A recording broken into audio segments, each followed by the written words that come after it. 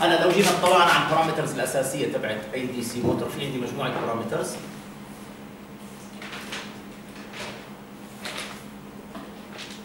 هاي عندنا هي DC motor هلأ يا DC motor بيكون permanent magnet أو خليني أفترض إنه separately excited فهذا عندي هون ال field هذا اسمه electromagnet فراح نحط إحنا هون Vf وطبعا في ال DC motor أنا بهمني بس ال average values خلينا نركز على فكرة ال average values يعني لو كان عندي الآن طالع جاي على Va ال source جاي هذا ال 6 pulse 1 2 3 4 5 6 أو مثلا كان جاي.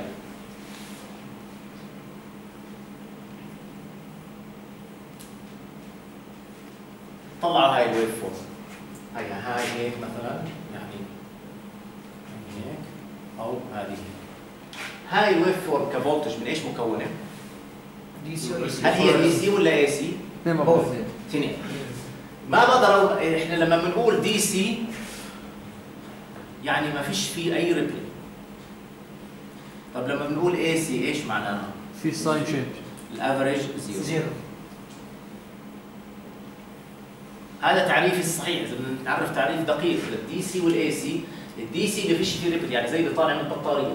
اذا هذه ال waveform وهاي ال waveform بقدر اقسمهم بالشكل التالي. هاي ال waveform اللي هي هيك وهي ال zero. إيش تساوي؟ تساوي two components بتساوي component اللي هو ال DC تبعه. اللي هو ال average تبع هذا وال average يمكن يكون مثلا هون.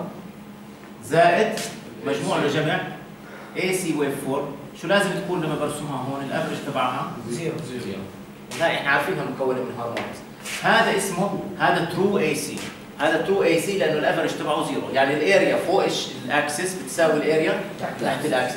وهذا DC لأنه constant ما فيش فيها components ما لها harmonics هذا مضبوط زي اللي بتطلع البطاريه هلا مرات في ناس ببعض الكتب بيسموا هذا DC لأنه اتجاهه ما بيتغير لأنه هو دائما positive بس هذا مش صحيح. إذا بدك التعريف الصحيح بال- بال- بال power electronics هذا هو DC وهذا AC أي signal ما فيش فيها harmonics فيها pure DC يعني ال frequency تبعتها zero هي DC وأي signal ال average تبعها zero هي AC لما جمعت هدول التنتين إيش أعطوني؟ أعطوني هاي. فإحنا لما بنحكي في ال DC motor بهمني بس ال average value ال average value هي نفسها بهاي الحالة هي ال RMS value لهذه ال waveform هون لأنه هذا هو ال current اللي راح يمشي في هاي الدائرة. يعني لو جينا طلعنا الآن نطلع على ال field current مثلا. طلع على ال field لو جيت حطيت أنا على ال field حطيت هذه ال wave اخذت أنا 6 pulse controlled rectifier وحطيت alpha zero وحطيت هاي ال waveform راح أفترض إنه هذا ال inductance عالي heavily inductive load بحيث إنه ال current اللي بمر هون إيش يكون؟ هو نفسه ال average value تبع ال DC فهذا هون V average ولو فرضنا إنه هذه ال Vf له inductance ما بتهمني ال inductance لأنه هو في له resistance كمان. لو كانت هاي ال resistance تبعت ال field وهاي ال inductance تبعت ال field. الكل ماشي فاهم شو هدول ليش حطيت لها resistance لهذا ال field إنه سلك لو سلك. ما في سلك له مقاومة zero ولو له مقاومة zero بالنهاية ال current current هون راح يصير infinity فجيت حطيت هاي لاحظ حطيت هاي ال voltage waveform هيها. حطيت هاي ال voltage waveform على هذا ال field شو ال current راح يمشي؟ هلا راح تقول لي إنه في ripple مزبوط بس أنا راح أفترض إنه هذا very heavily inductive بحيث إنه بيمنع بيعمل blocking لل AC part إذا مين هذا ال- شو راح أشوف بس ال average وال current اللي راح يمر إيش راح يكون؟ راح يكون عبارة عن V average على R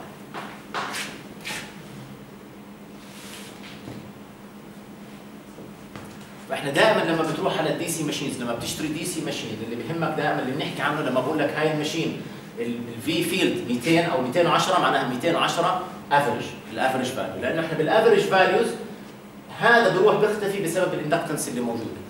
فكأنه ال inductance اللي هون عمل blocking لل AC ومرر بس ال DC لما مر ال DC إيش صف عندي؟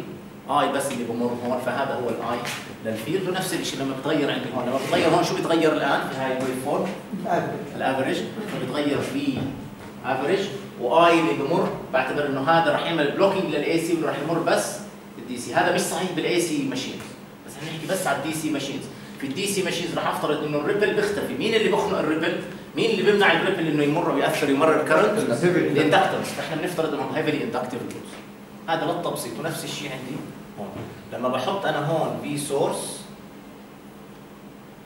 ال V source اللي موجود هون راح أفترض إنه ال inductance اللي موجودة هون. راح تمنع ال current راح أفترض إنه ال current هون راح يمشي. راح يمشي هون راح يكون average current pure DC راح يمر في هذا المحرك. هذا مش شرط إنه يكون 100% صحيح بس هذا تقريب حتى يبسط ال analysis اللي موجود. okay ماشي واضح. اذا إحنا كل ال values راح نشتغل عليها هي average values من هون. هلا لما أجي بدي أحسب ال firing angle range اللي موجود هون. هلا راح نشوف كيف راح نحسب ال firing angle range الموجود. حتى اصمم هذا ال DC drive هلا هون راح يصير في عندي DC drive راح نركب bridge هون. وهذا ال bridge راح يدخل له alpha وال alpha راح تغير ال average voltage اللي موجود هون فراح يتغير ال average current اللي هون. طيب السؤال الثاني اللي بنساله لو عندي أنا current زي هيك هذا ال average value تبعه والهذا قديش ال RMS value تبع هذا؟ نفس ال level نفسه إذا هون عندي بالحالة هاي إذا صار هذا DC معناها I average بيساوي I RMS لأنه pure DC فإحنا كل افتراضنا في ال DC circuit وال DC motors رح نفترض إنه ال current اللي بمر في النهاية رح يكون pure DC لأنه ال inductor رح يمنع ال AC part إنه يمر.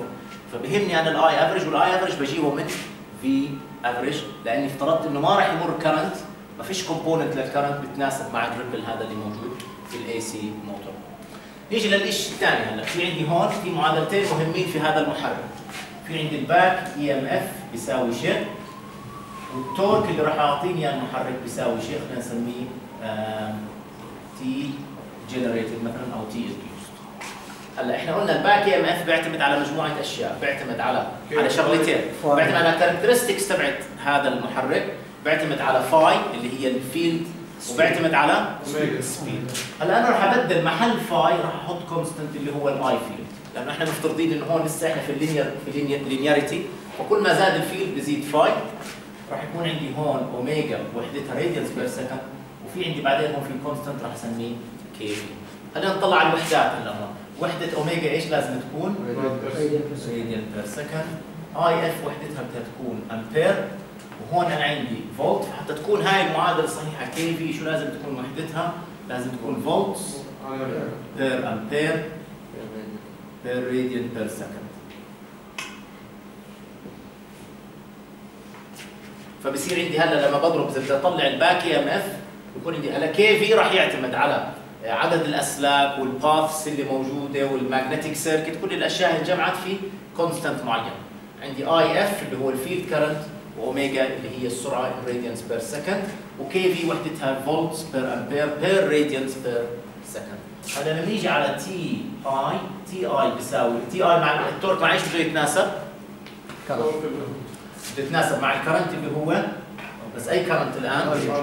اي اي ار منشر وبتناسب كمان مع الفيلد اكسايتيشن بس بالحالة هاي أنا محل الفيلد اكسايتيشن عوضت. K هلا بامكانك تثبت إنه Kv هي نفسها Kv اللي موجودة هون. خلينا نطلع على الوحدات هلا. إحنا قلنا Kv وحدتها شو بدها تكون؟ volts per ampere per radian per second مضبوط اطلع هلا شوف الوحدات هذول I A إيش وحدتها؟ امبير وال field وحدتها؟ امبير امبير بضربها في امبير شو راح تعمل؟ تلغي راح تلغيهم إيش راح يضل عندي الوحدات اللي بتنتج في في وات يعني على راديانس بير سكند مضبوط أنا نزلت راديان بير سكند تحت. في في إيش راح تعطيني؟ وات واتس مش هيك أو باور خلاص مضبوط ولما بقسم باور على راديانس بير سكند إيش الوحدة اللي بتطلع معي؟ نيوتن متر مش هيك؟ مش إحنا قلنا ال- ال power بتساوي ال torque في اوميجا مظبوط؟ فلما قسمت ال power على اوميجا راح تعطيني ال torque فالوحدة هاي صحيحة. فالفكرة المهمة هون إنه Kv هي نفس Kv Kv اللي هون. هي نفس Kv اللي هون okay ماشي؟ لا لا لا لاي DC motor لأنه ال machine نفسه ما تغير. نفس ال machine ما تغيرت ال machine نفس ال machine Kv هدول التنتين متساويات نفس ال Kv ال constant لهاي ال machine اللي بتعطيني ال torque هو نفسه بعطيني ال back EMF وهي رح نستعملها هلا لما نحل آه، مثال دكتور